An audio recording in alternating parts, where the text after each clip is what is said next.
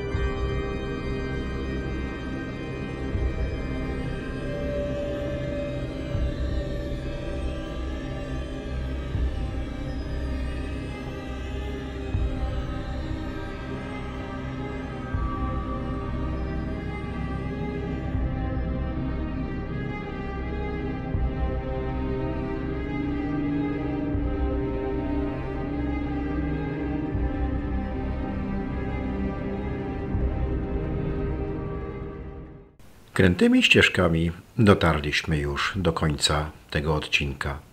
A ja dziękuję za uwagę i zapraszam do komentowania, lajkowania i subskrybowania mojego kanału. Jak również zapraszam na kolejny film.